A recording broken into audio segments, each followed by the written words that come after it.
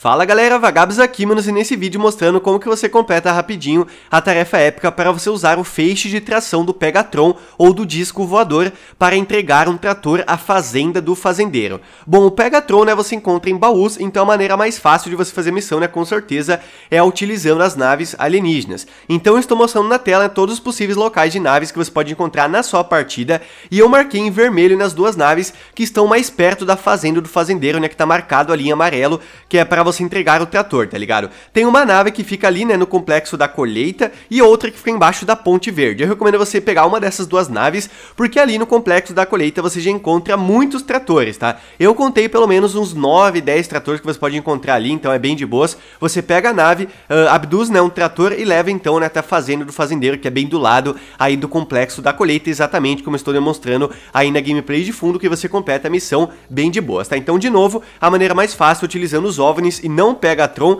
e você pode né, pegar então esses dois OVNIs que ficam perto já da fazenda que você completa rapidinho. Então é isso, mano. Se você gostou, deixa o likezão porque me ajuda muito, beleza? Então é isso, manos. Aquele abraço, se vemos no próximo vídeo. Valeu, falou, se eu fui.